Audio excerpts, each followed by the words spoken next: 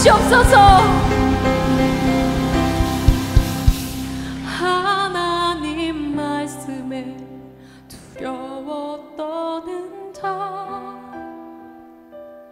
그 말씀에 새